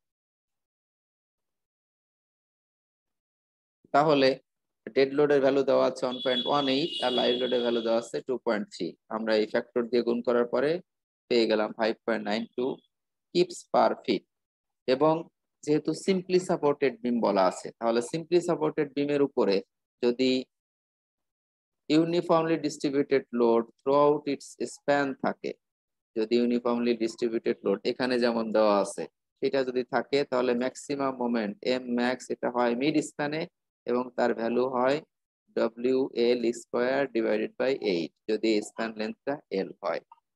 সেই জন্য এখানে দেখো মোমেন্ট এম ইউ নির্ণয় করেছে W L square by eight করে। এই যে সেই ওয়ান বাই এইট এখানে ডব্লিউ এর ভ্যালু হচ্ছে যে five point nine two kips per feet নির্ণয় করলাম। এল হচ্ছে ফিফটিন তার স্কোয়ার আর এই টুয়েলভ দ্বারা গুণ করে আসলে দেখো এই মোমেন্টের ইউনিটকে কিপ ফিট থেকে কিপ ইঞ্চে নিয়ে গেছি। এটা হচ্ছে যে টুয়েলভ ইঞ্চে নেওয়ার জন্য আর কি। ঠিক আছে? এমনি W L square by eight করলে ইউনিট আসতো কিপ ফিট তাকে যে আরও টুয়েলভ দ্বারা গুণ করে এটাকে কিপ ইঞ্চে নিয়ে গেলাম। এই ডাইমেনশনের বিম যদি আমি ডিজাইন করতে চাই, এখন দেখো ডাইমেনশন আমাকে নির্ণয় করতে হবে। তাহলে বিমের কংক্রিট ডাইমেনশন যেমন নির্ণয় করতে হবে ইনফোর্সমেন্টও নির্ণয় করতে হবে। তো এই ধরনের প্রবলেম যদি আমরা সলিউশনে যেতে চাই যে কোনো একটাকে ধরে নিতে হয়, তাহলে অপরটা পাওয়া যায়। আইদার আমি বিমের কংক্রিট ডাইমেনশন ধরে নিব, তাহলে রিনফোর্সমেন্টটা বের হয়ে আসবে, অথবা রিনফোর্সমেন্ট রেশিও ধরে নিব রিনফোর্সমেন্ট ধরে নিব কংক্রিটের ডাইমেনশন বের হবে। এখানেও তাই করা হচ্ছে মানে সেটা করা হবে এবং দেখো রিনফোর্সমেন্ট রেশিওটাকে ধরে নিচ্ছি আমরা। তো কোনটা আসলে ধরবো সেটা ডিপেন্ড করে ম্যাটেরিয়ালের খরচের উপরে। এমন কোন লোকালিটি যেখানে আসলে কংক্রিটের দাম খুব বেশি, কারণ ম্যাটেরিয়ালগুলা সব ইম্পোর্ট করতে হয়। ফর এক্সাম্পল এই বাংলাদেশের সাউথ সাইডে যদি সাতক্ষীরায় কোথাও যদি কনস্ট্রাকশন করতে চাই, তাহলে সিলেট স্যান্ড সিলেট থেকে নিয়ে যেতে হয়। এমনকি স্টোন ও সিলেট থেকে বা পঞ্চগড় থেকে সেখান থেকে যদি আসে, তাহলে এগুলার খরচ কিন্তু অনেক বেড়ে যায়। আবার সিমেন্ট যদি অনেক দূরে ট্রান্সপোর্ট করে নিতে হয়, সেটারও খরচ বেড়ে যায়। তার মানে আলটিমেটলি বোঝা যাচ্ছে কংক্রিটের খরচ এখানে বেশি। তো আমি সেই ক্ষেত্রে তাহলে কংক্রিট কম ইউজ করে রিনফোর্সমেন্ট বেশি ইউজ করব। তার মানে বেশি রিনফোর্সমেন্ট ধরে নিয়ে কম কম সাইজের কংক্রিট ব্যবহার করব। এরকম হতে পারে। আবার এই বিমের কংক্রিট সাইজের লিমিটেশন কোর্ট থেকে আসতে পারে। কোর্ট কিন্তু অনেক সময় বলে দেয় যে স্ট্রেংথ মানে লোড যত কমই হোক না কেন, একটা কলামের ডাইমেনশন যেমন নন সাইসমিক রিজিয়নে সাতক্ষীরার কথাই যদি বলি, সেখানে টেন ইঞ্চ বাই টেন ইঞ্চের চেয়ে কম সাইজের কলাম দেওয়া যাবে না বিল্ডিং এ। এরকম যেমন কোড রিকোয়ারমেন্ট আসতে পারে আবার ডিফ্লেকশন কন্ট্রোলের জন্য ভাইব্রেশন কন্ট্রোলের জন্য, তার মানে সার্ভিসিবিলিটি লিমিট অ্যাড্রেস করার জন্য আমাকে মিনিমাম একটা ডাইমেনশন প্রোভাইড করতে হতে পারে। সেগুলো রিসেন্ট কোডে চলে আসছে, আমরা সেগুলো পরে দেখে নিব। তো এখানে আসলে দেখো যেটা করা হবে এই এক্সাম্পলটাতে যেটা করা হয়েছে যে এই ম্যাক্সিমাম রিইনফোর্সমেন্ট রেশিও যেটা, সেটাকেই যদি আমি ইউজ করি, তাহলে মিনিমাম কংক্রিট ডাইমেনশন কত প্রোভাইড করতে হয়? দেখো, খেয়াল করে the dimensions of the concrete will be directly influenced by the designer choice of steel ratio. আমি যদি steel ratio higher high choose করি কংক্রিট ডাইমেনশন কম আসবে। যদি স্টিল রেশিও লো চুজ করি, তাহলে কংক্রিট ডাইমেনশন বেশি আসবে। তো কংক্রিট ডাইমেনশন এই যে এটা খরচ দেখতে হবে, আবার minimum requirement side dimension requirement আছে, সেটাও দেখতে হবে।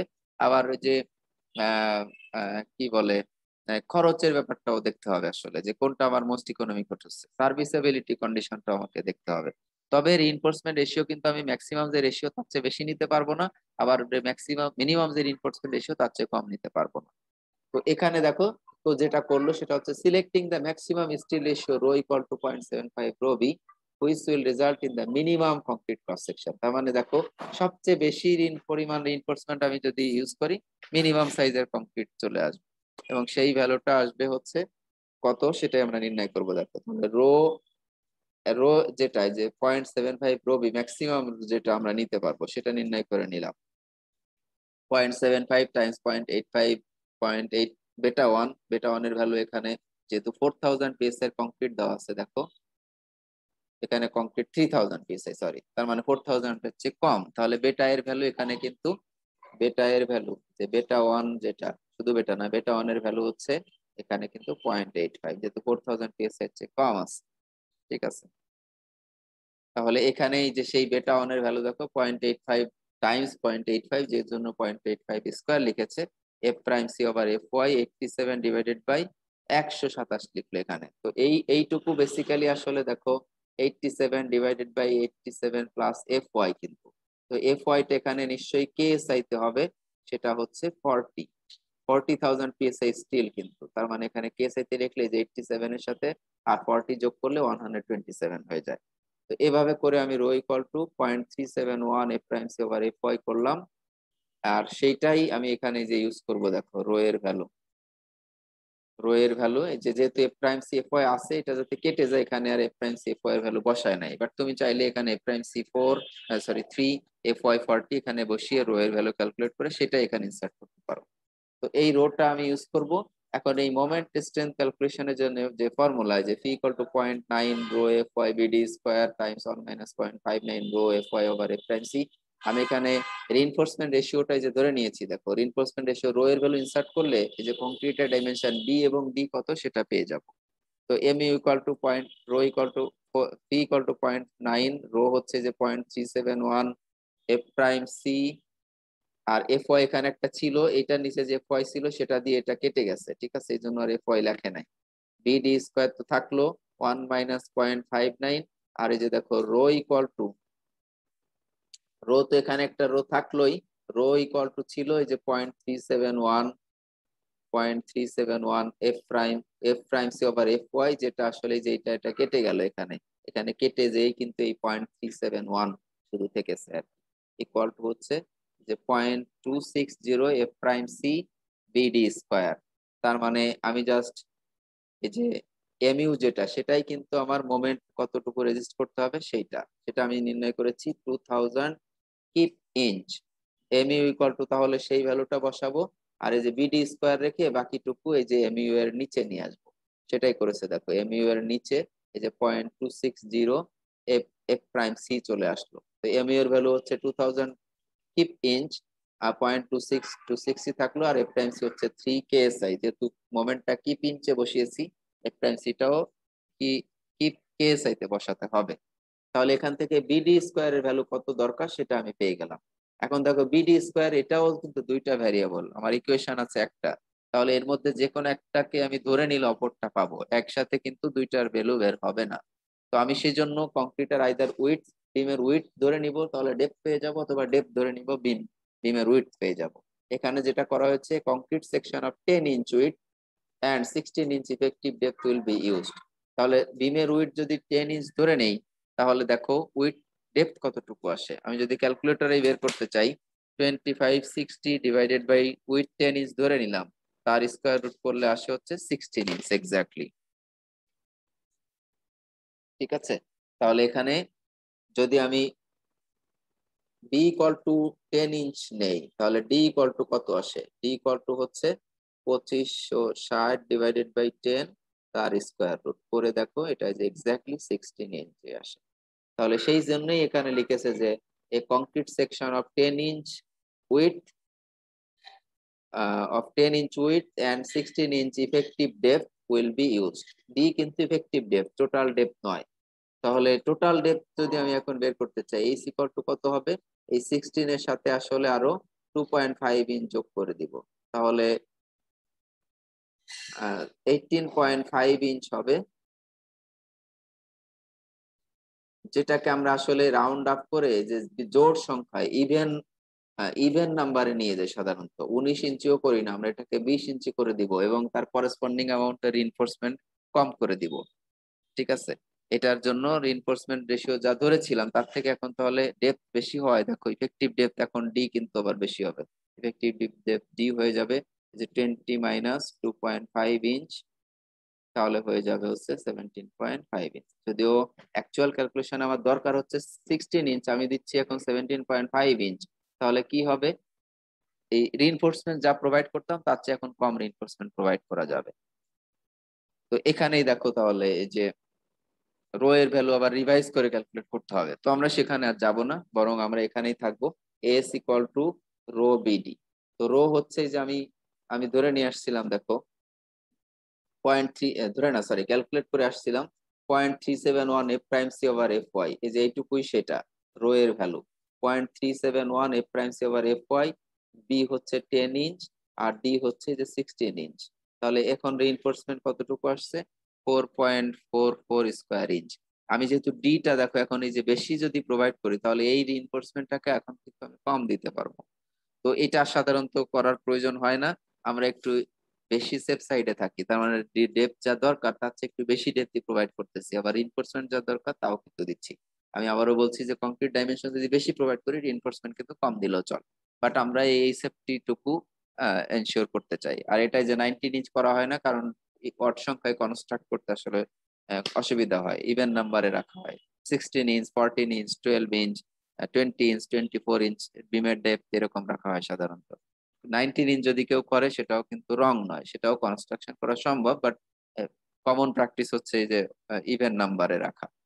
তো এই ইনফোর্সমেন্ট এরিয়া শুধু বের হলেই হবে না, কয়টা বার লাগবে সেটাও আমাকে বলতে হবে। তো আমরা যদি এগারো নম্বর বার সিলেক্ট করি।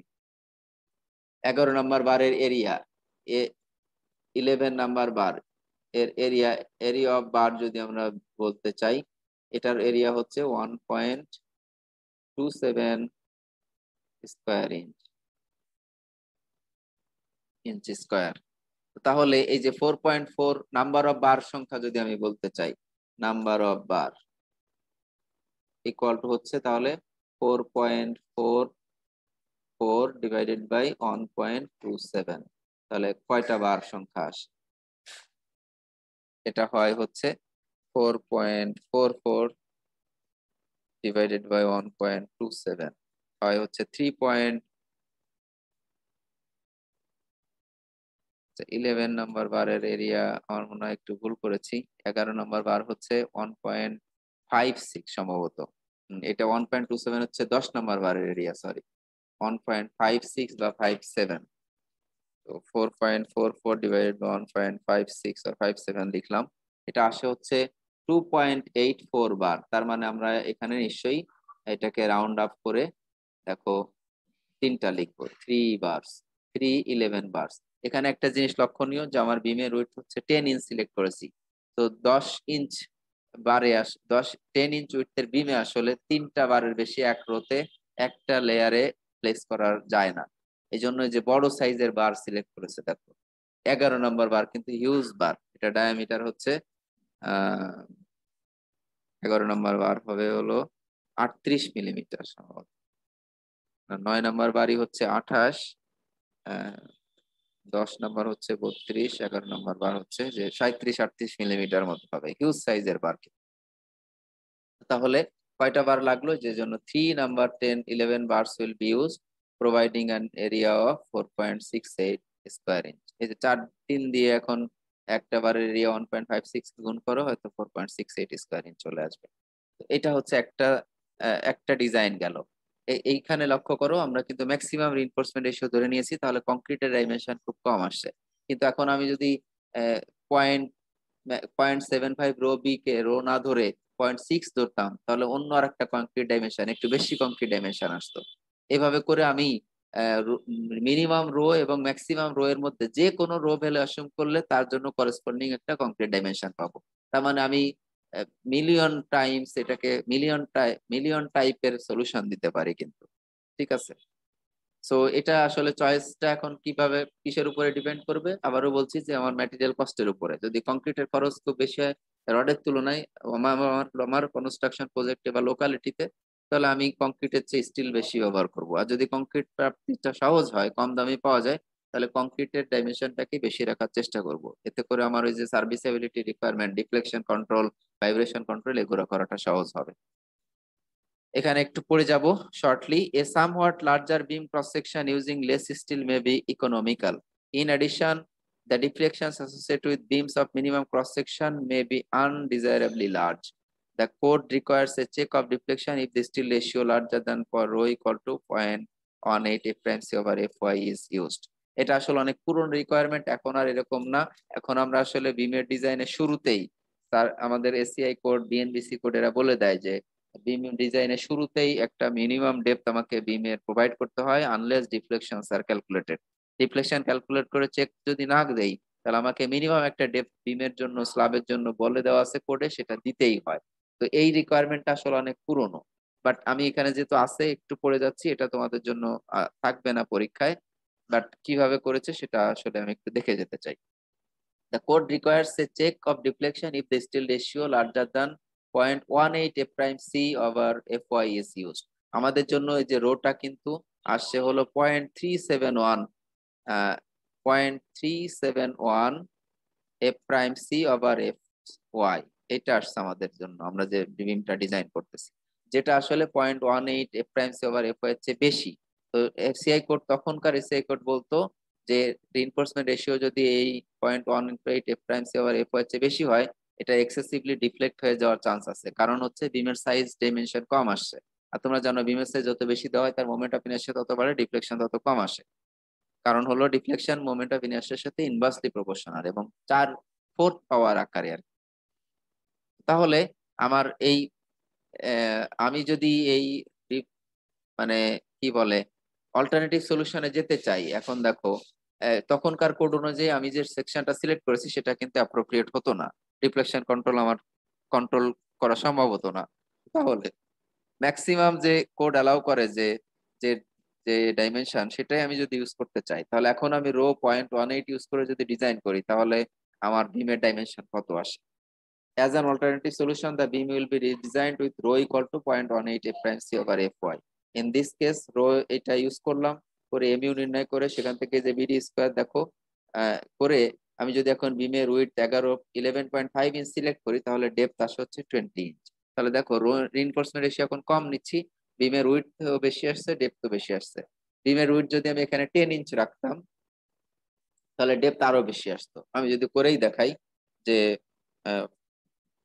ফোর ইঞ্চ যদি আমার বিমের ডেপথ হয়, তাহলে সরি উইথ বিমের উইথ যদি টেন ইঞ্চ হয়, তাহলে ডেপথ আসে হচ্ছে twenty one point four four inch তার মানে এটাকে আমি টোয়েন্টি টু ইঞ্চ নিতাম বেসিক্যালি ঠিক আছে? কিন্তু বিমের উইথ যখন ইলেভেন পয়েন্ট ফাইভ ইঞ্চ নিয়েছি, তখন ডেপথ আসছে হলো টোয়েন্টি ইঞ্চ তো এইভাবে আমার দেখো আরেকটা সলিউশন সম্ভব এবং বিমের সাইজ যেহেতু এখন বেড়ে যাচ্ছে তাহলে দেখো রিনফোর্সমেন্টের পরিমাণ আসছে হলো three point one one square inch এই যে এটা থেকে এটাকেই জাস্ট এখন বিডি দ্বারা গুণ করো।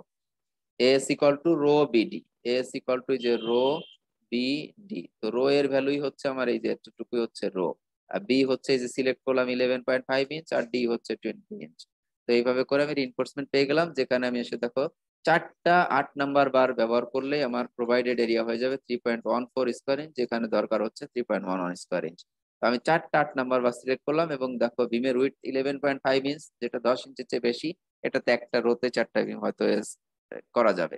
তো দেখো রো সিলেকশন করতেছো কত, তার উপরে ডিপেন্ড করে এভাবে কিন্তু তুমি মিলিয়ন মিলিয়নটা মানে মিলিয়ন সংখ্যক সলিউশন দিতে পারো বিম ডিজাইনে তো আমি তোমাদের জন্য সাজেস্ট করব হচ্ছে বাংলাদেশে সাধারণত বিমের উইথ টেন ইঞ্চের মতো রাখা হয় টেন ইঞ্চ ঠিক আছে? যাতে করে যে এক দুই ইট গাঁথুনি দিলে টেন ইঞ্চটা ফিল আপ হয়ে যায় যাতে করে বিমের এজগুলো আর না দেখা যায়। যদিও বা টেন ইঞ্চ ওয়াল খুব আমরা কমই ইউজ করি বাট এরকম একটা টেন্ডেন্সি আছে বাংলাদেশের ডিজাইনারদের মধ্যে বিমের উইথ টেন ইঞ্চ রাখা। তো টেন ইঞ্চ উইথ রেখে বাকি ডেপ যা আসে আসলো রিনফোর্সমেন্ট যে কয় লেয়ারে আসলো আসলো সেভাবে ডিজাইন করা যেতে পারে। It is apparent that the in, in, in, that an infinite number of solutions to the stated problem are possible depending upon the selected যে কথাটা বলেছি তাই যে ইনফিনিট নাম্বার অফ মিলিয়ন টাইপের তুমি সলিউশন দিতে পারবা। তুমি এক ধরনের রেঞ্জ প্রশ্ন সিলেক্ট করবা, তাহলে তার করেসপন্ডিং দিন কংক্রিট ডাইমেনশন বের হবে। That ratio may vary according to the say code from an upper limit of point zero five rho B to a lower limit of three square root of F primes over F Y which should not be less than or equal to two hundred which should not be less than or equal to two hundred divided by F Y C uh, fy 200 divided by fy তো এইভাবে করে আমরা হচ্ছে বিমের design করতে পারি। এখন আরেকটা বিমের প্রবলেম দেখব সেটা হচ্ছে কন্টিনিউয়াস বিম যদি হয় একটা আরেকটা এক্সাম্পল দেখব যেটা আসলে কন্টিনিউয়াস বিমের একটা এক্সাম্পল তার মানে একটা বিম যখন এখন একটা ফ্রেমে বিল্ডিং এ আসলে একটা বিম শুধু সিম্পলি সাপোর্ট থাকে না বরং কন্টিনিউয়াস বিম হয়। আমরা বিম ডিজাইন আসলে ম্যাক্সিমাম নেগেটিভ বেন্ডিং মোমেন্ট যেখানে আসে নেগেটিভ মোমেন্টই ম্যাক্সিমাম হয় কোন একটা কন্টিনিউয়াস বিমে সেই বিমের জন্য আসলে ডাইমেনশনটা নির্ণয় করি। এবং সেই ডাইমেনশনটাই থ্রু আউট প্রোভাইড করি, তাহলে যেখানে মোমেন্ট মিড স্প্যানে যেখানে মোমেন্ট আসলে কম, সেখানে যে ডেপ দরকার, সেটা আসলে ওই সাপোর্টে যে ডেপ প্রোভাইড করেছি, সেই ডেপটি দেই। কিন্তু রিনফোর্সমেন্ট সেখানে যেহেতু মোমেন্ট কম, তাহলে কম লাগবে। তো এই গিভেন ডাইমেনশন তার মানে রিন কংক্রিটের ডাইমেনশন জানা আছে জাস্ট রিনফোর্সমেন্ট কত গিভেন মোমেন্টের জন্য, সেটা নির্ণয় করতে হবে। আমি আরেকটু এখানে এক্সপ্লেন করি ভাবে যে একটা কন্টিনিউয়াস বিম যদি হয়, এরকম অনেকগুলা সাপোর্ট আছে মানে কলাম থাকল এপাশেও থাকল এরকম। তো আমরা ম্যাক্সিমাম নেগেটিভ বেন্ডিং মোমেন্ট কোথায় আসে, সেই জায়গার জন্য প্রথমে বিমটাকে কমপ্লিট ডিজাইন করে ফেলি। যে এক্সাম্পল টু তে যেটা দেখলাম। করে ওই একই বিমের dimension cross section throughout this span এই পুরা এরিয়াতেই পুরা লেন্থে একই ক্রস সেকশনের বিম প্রোভাইড করি। বি এবং ডি সব বি এইচ সব জায়গাতে সেম থাকে। তো যেখানে এখন মোমেন্ট কম, সেখানে কি সেখানে আমি একই ক্রস সেকশন প্রোভাইড করতেছি। তাহলে নিশ্চয়ই মোমেন্ট যদি কম হয়, তাহলে কম রিইনফোর্সমেন্ট প্রোভাইড করলে হয়ে যাবে। তো কতটুকু রিইনফোর্সমেন্ট লাগবে, যদি আমার বিমের ডাইমেনশন জানা থাকে, সেটাই আমরা এখন একটু দেখব। তাহলে determination of steel area for a given moment using the concrete dimensions of the preceding example আমরা যে B equal to eleven point five inch and D equal to twenty inch ultimately যেটা সিলেক্ট করলাম, সেটা use করে and the same specified stresses কংক্রিটের property ছিল হচ্ছে A prime C equal to three thousand PSI স্টিলের ছিল হচ্ছে ফোরটি থাউজেন্ড কেস পিএসআই স্টিলের ইল্ড স্ট্রেস সেইগুলো ইউজ করে find the steel area required to resist design ultimate moment of sixteen hundred inch kips ষোলোশো kip inch moment resist করতে হলে ওই ওই ডাইমেনশনের বিমে কতটা রিনফোর্সমেন্ট লাগবে সেটা বের করতে হবে। তো এইটার দুইটা ওয়ে আছে। দুইটা ওয়ে আছে। একটা হচ্ছে দেখো, আমি ডিরেক্টলি যদি এই যে M equal to M U equal to P rho F Y B D square one minus point five nine rho F prime C over F Y আমি কি ভুল লিখেছি কিনা জানি না, একটু চেক করে নিই। Rho F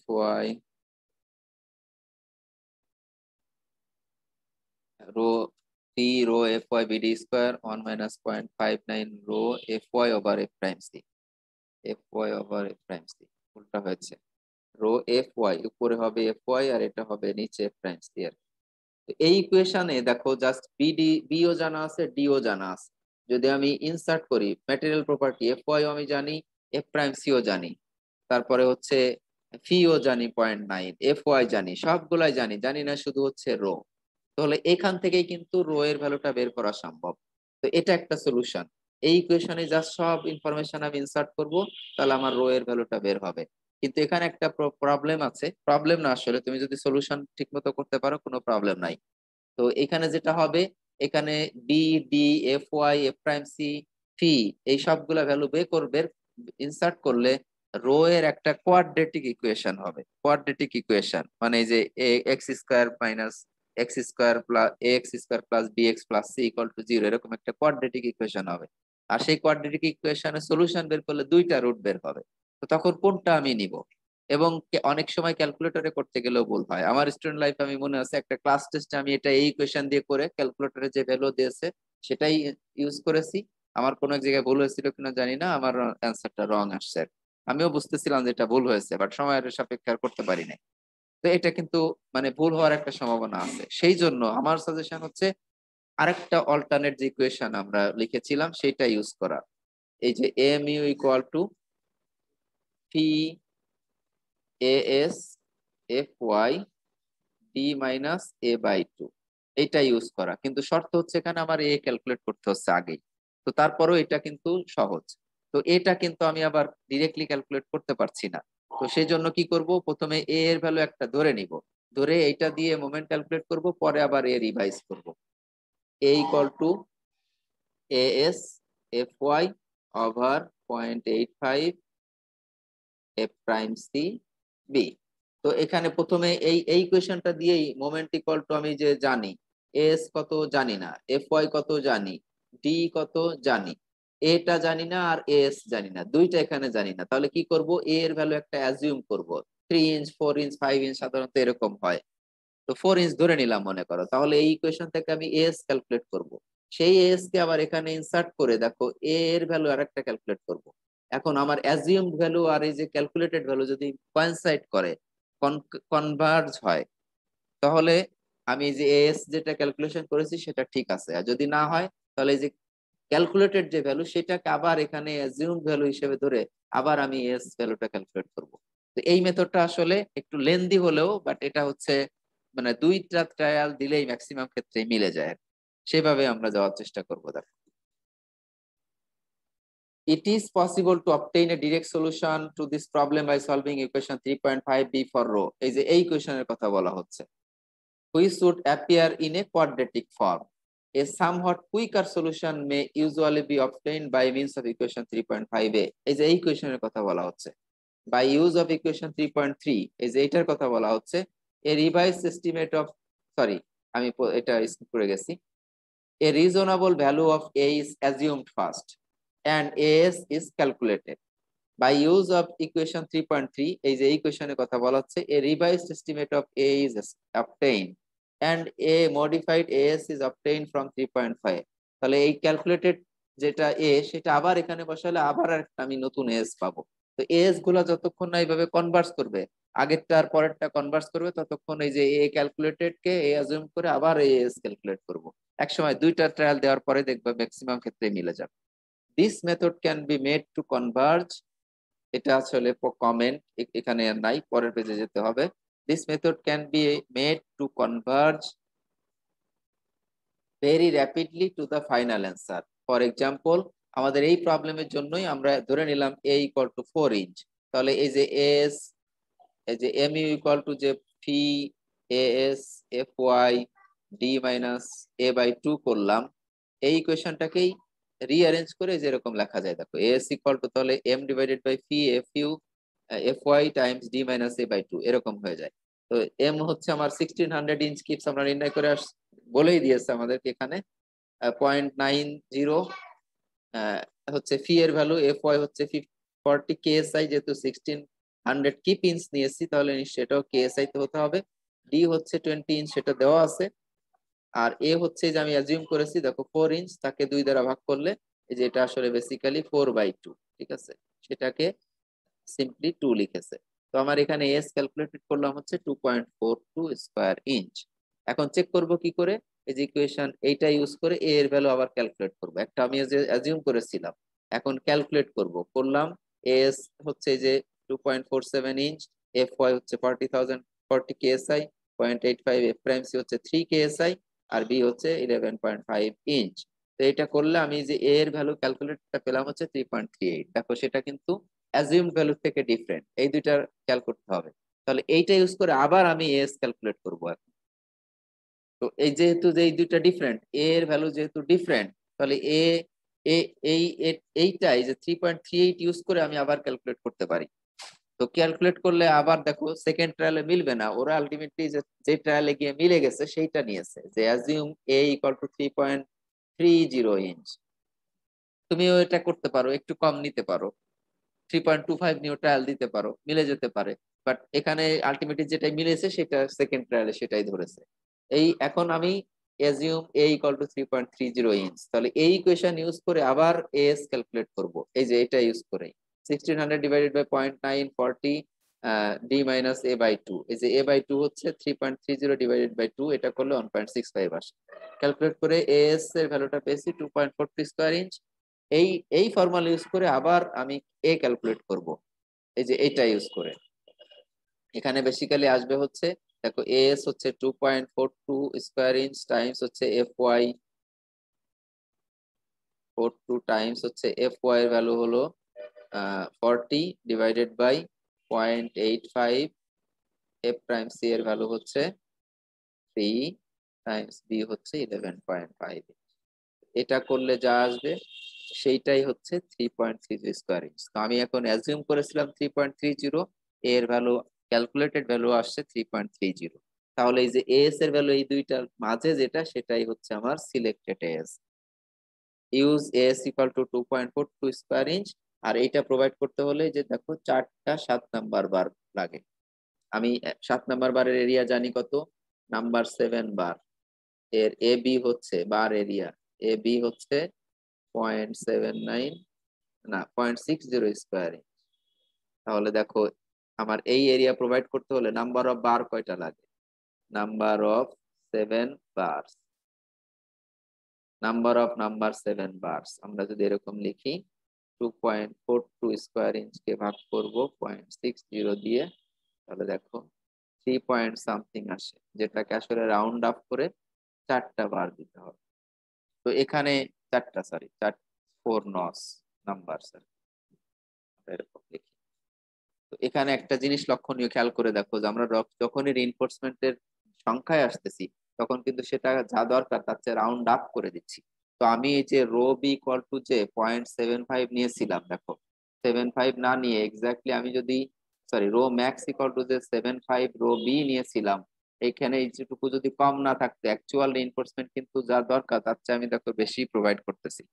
তো তখন এই যে এই রো বি আমি যদি রো ম্যাক্সটাকে রো বি বলতাম, যে rho max is equal to আমি রো বি প্রোভাইড করব, তাহলে কি হয়ে যেত? আবার রিনফোর্স কিন্তু হয়ে যাওয়ার একটা চান্স থাকতো। কারণ হচ্ছে এই যে দেখো রিনফোর্সমেন্ট সবসময় আমরা বেশি প্রোভাইড করি। এ কারণে আসলে একটা হায়ার লিমিট এই যে seventy five percent of rho b, এটা বলা আর যাতে করে এই ডিজাইনে যে মডিফিকেশনগুলো আসে, যেগুলো আনঅ্যাভয়েডেবল এই যে তুমি three point eight five bar কখনোই প্রোভাইড করতে পারবে না। এদের চারটা দিতে হবে, নাহলে তিনটা দিতে হবে, নাহলে পাঁচটা দিতে হবে, এরকম। তো এই জন্যই আসলে upper limit point seventy five percent of rho b এটা প্লেস করা হয়েছে। সো এই, এটা হয়ে গেল।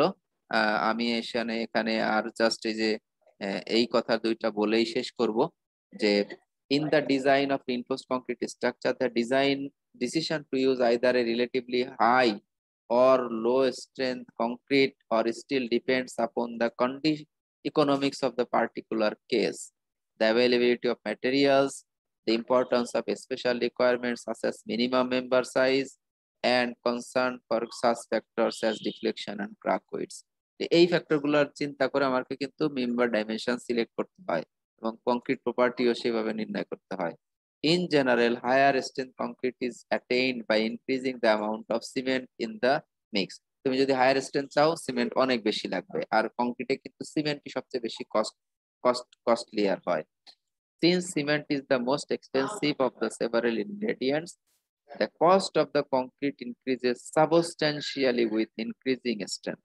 তার মানে কংক্রিটের স্ট্রেন্থ যত বেশি ইউজ করতে চাইবা তত বেশি খরচ বাড়বে কংক্রিটের on the other hand high strength steels produced either metallurgically or by cold working, lower strength bars are available at only slightly increased cost.